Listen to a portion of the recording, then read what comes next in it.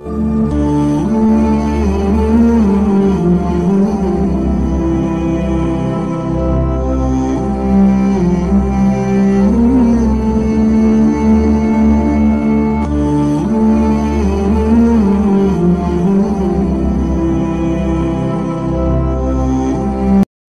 birinchisi э, uchinchisi shu chet elda yurgan o'sha ahli ilmlar to'g'risida abdulloh zufardan tashqari o'sha ahli ilmlar misol uchun ko'p ma'ruza qilishadi da'vat qilishadi.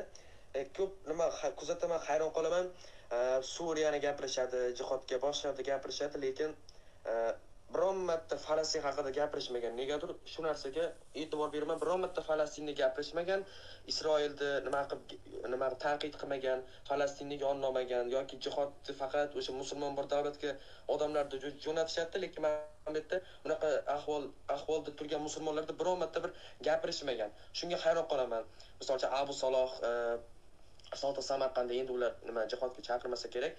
Man sodi samarqandda ham ilmli dedingiz. O'sha odam eshitmadimda lekin biron marta ma'ruzasini falastin haqidagi.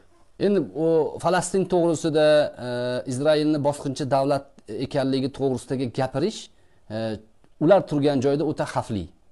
O'ta xavfliligi e, ularni amniyatiga xavfsizligiga ta'sir qiladigan darajada. Chunki ularni so'zi bor gapi bor antisemitizm degan qonun ishlaydi ko'p davlatlarda va o'sha qonunga ko'ra ularni talab qilib qolishligi mamlakatdan deport qilib yuborishligi E, va o'zi qochib yurgan joyga majbur olib kelib qo'yishligi mumkin. O'shaning uchun juda ehtiyot bo'lishadi. Biz ham ularni qiynab mana shu- gaplarni gapir qo'ldan kelsa deyishlikka e, ularni asrab indamay turamiz.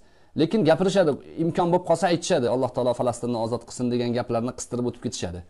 E, lekin siz aytayotgan gap to'g'ri o'sha g'olon tepaliklari bor idlibga yaqin joyda. 19-20 kilometr atrofida uzoq emas hattoki o'sha rabot deydi ular chegarada turib g'olon tepaliklarini ko'ra olishadi. Ko'zlari tushib turadi bir biriga ya'ni askarlar vaqt e, davomida almashib turishligini ko'rishadi. Unisi kelib bunisi ketishligini. G'olon tepaliklari e, yahudiylarni qo'lida hozir. Ular egallab oldi. Ularni askarlari turibdi. Idlibda yurgan o'sha saad muxtor abdulaziz domla birortasi borib g'olon tepalagiga qarab turib haqorat qilib ko'rsin chaqirib ho yahudiylar yo'q battan desin tilini sug'urib qulog'iga tiqib qo'yishadi. O'sha o'zlarini jamoalari nimaga? Ularga til tekkizma deydi. Chunki e, orqasidan katta zarar kelishi mumkin fiqhlarni ishlatib yuborishadi u yog'iga gapirisholmaydi. Ya'ni siz uni qo'ying jihod deb o'zlariga chaqirishyapti oldilaridagi g'olon tepaliklarga haddalari sig'maydi. O'q otish u yoqda tursin tosh otolmaydi gap otolmaydi gap. Mana man jonli efirda buni da'vo qilyapman. Chiqsinchi ko'raylikchi o'sha idlibdagilarni. Qilisholmaydi. Qilisholmaydi ixtiyor o'zlarida emas. Qilsa ularni olib kirib keyin e, qamab qo'yishadi. Ha, shunaqa endi. Alloh taolo isloh qilsin deymiz. Bo- bosim bo'ladida to'g'rimi? Sodi samarqanddagi bosim borda shunda boshqa o'sha siyosiy kuchlar tarafdan.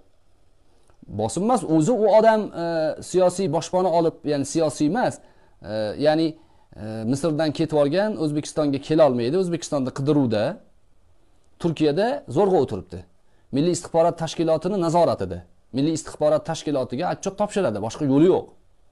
Darnak ochgan o'sha darnakda ular ruxsat bergan qog'oz bilan o'tirishadi. Qo'ldan kelgancha dinga xizmat qilaman degan niyati bor inshaalloh alloh taolo niyatini biz bilmaymizda e, shunaqa deb yaxshi gumon qilamiz. O'tiradi. Lekin ozgina noto'g'ri gap gapirib qo'ysa noto'g'ri qadam tashlab qo'ysa muammo tug'dirishadida.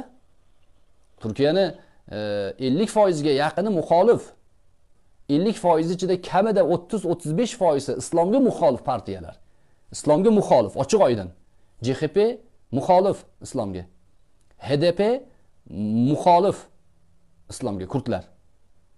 E, yana boshqalar turibdi. Ular ham o'sha milliychilar ham ya'ni milliy e, partiya bor mxp e, davlat baxchali boshliq. Bu partiya ham hozir islomni musulmonchilikni gapirib turibdida lekin asli tagidagi ideologiya bizda shu gapni tarqatayotganlar bo'ridan bo'lganmiz bo'rini avlodimiz e, bizni genimizda bo'ri bor deganlar o'sha mxpni ideologiyasini tarqatyapti. Panturkizm. Ya'ni panturkizm deganda islomga aloqasi bo'lmagan jamoani gapiryapman man. O'sha tangrichilikni targ'ib qiladigan turk oliy irq deydigan millatchilikni da- da'vo qiladigan jamoalar bor. Ular ham shu muxolif. O'rni kelganda islomni ular tan olmaydi. Shuning uchun u yerda u yerda o'tirgan o'zi turkiyalik emas o'zi boshqa joydan borgan o'zini mamlakatda qidiruvda bo'lgan odam yetti o'lchab bir kesadi. Biz o'zi yetti o'lchab bir kesamiz ular yetmish o'lchab bir kesadi. O'shaning uchun e, bizga gapirishlikda ular hayo qilish kerak. Haqni gapira olmaydi haqni gapirishlikda e, bormi qani manaman degani chiqsin haqni gaplashamiz. Gap- gaplasha olmaydi. Haqni gapirish degani faqat o'zbekistonni gapirish degani emasda.